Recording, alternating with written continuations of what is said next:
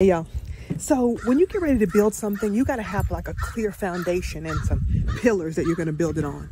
When we decided, when I decided with my team to build steps and stages, we decided that it was going to have three pillars confidence, clarity, and community. And the thing about community is no one changes alone. And sometimes you need to introduce yourself to a stranger for you to see the best side of yourself, to believe in the vision you're creating, and to build that confidence in yourself to keep it going.